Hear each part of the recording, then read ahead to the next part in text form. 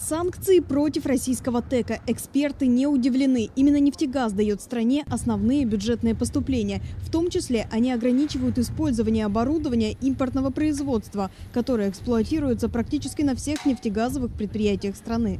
По мнению экспертов, особенно под угрозой оказываются строящиеся объекты ТЭКа. В нашем регионе это проект Ямал-СПГ, который предполагает не только возведение завода по производству жиженного газа, но и выход в северные морские широты. О важности проекта проекта говорить не приходится. Только на строительство порта Сабета государство зарезервировало 47 миллиардов рублей. Индустриальное инфраструктурное освоение полуострова Ямал имеет без привлечения общегосударственное значение.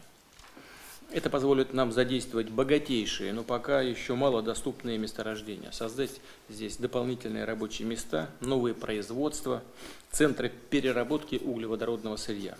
Главный акционер Ямал СПГ, компания «Новотек», 20% у французской «Тоталь», остальное у китайцев. Сегодня в срочном порядке инвесторы ищут деньги для финансирования проекта. Банки также оказались в зоне санкций. По планам первая линия по производству сжиженного газа должна войти в строй не позднее 2017 года. И нарушать их никто не собирается. На днях на встрече главы «Новотека» с президентом страны проект был поддержан. Речь идет о средствах из ФНБ. Между тем, большой трагедии в нынешней ситуации ситуации многие эксперты не видят.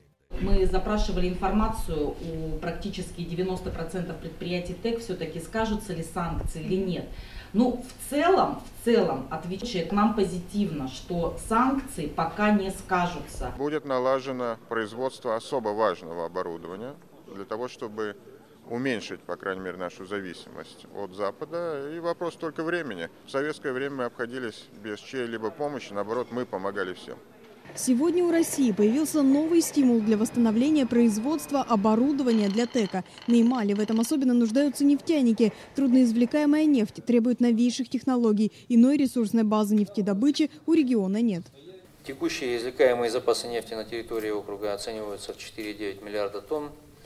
Из них половина относится к трудноизвлекаемым запасам. Один из первопроходцев Западной Сибири Геннадий Шмаль считает, 2-3 года потребуется России на импортозамещение в этой сфере, пока есть смысл выходить на альтернативные рынки.